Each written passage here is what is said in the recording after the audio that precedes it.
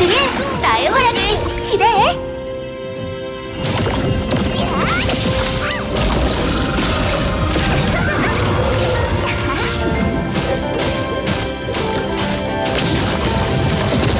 신규 클래스 도화가 등장!